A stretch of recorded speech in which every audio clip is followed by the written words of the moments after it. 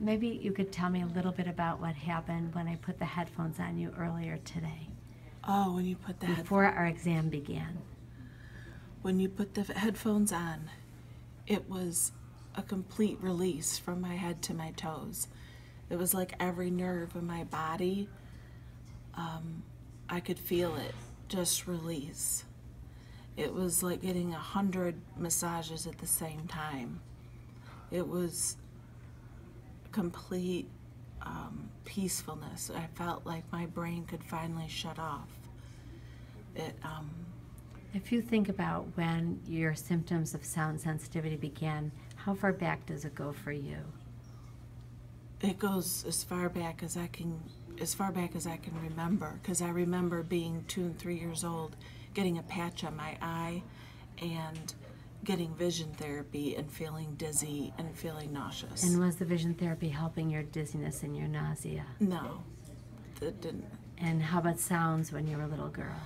um, sounds the same thing. Everything was. I just remember um, everything being loud, but I was. It's always been that way for me, so I didn't know any different. And how does it feel now not to have all that extra sound? It's beautiful. This is beautiful. I don't ever want to take these off. I, this is wonderful. And I'm going to take off, you're looking at the sign on the counter. So how does the sign look? The sign looks clear. Okay. We're going to take um, off the prism glasses. Okay. Close your eyes. Okay.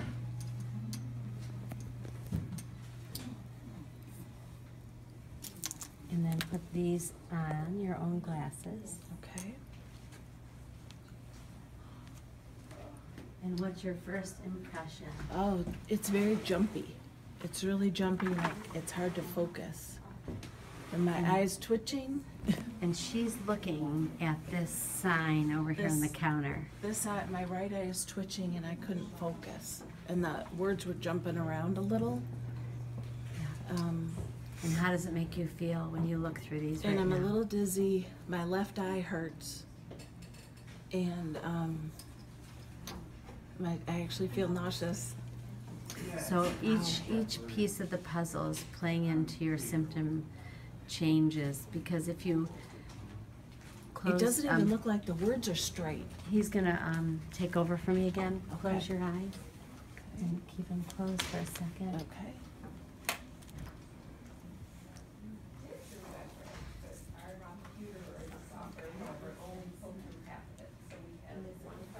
So now she's got the glasses back on. Okay. And how's it feeling now that your own glasses with prism are back on? Now they're fine. Wonderful. Now they're fine. Everything's in a row and everything's fine. And how's the nausea? Fine. So it sort of went away that quickly. Yeah. Now, what happens if you take off the headphones and you're looking at the sign? Okay. What happens to the sign? Off. It gets fuzzy.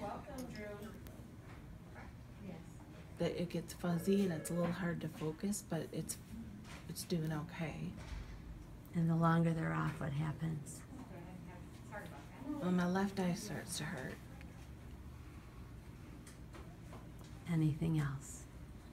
Now they're going like this in waves.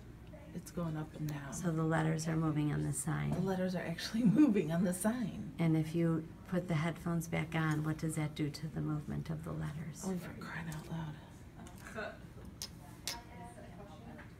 Oh, they just stand still. They stand still. Fantastic.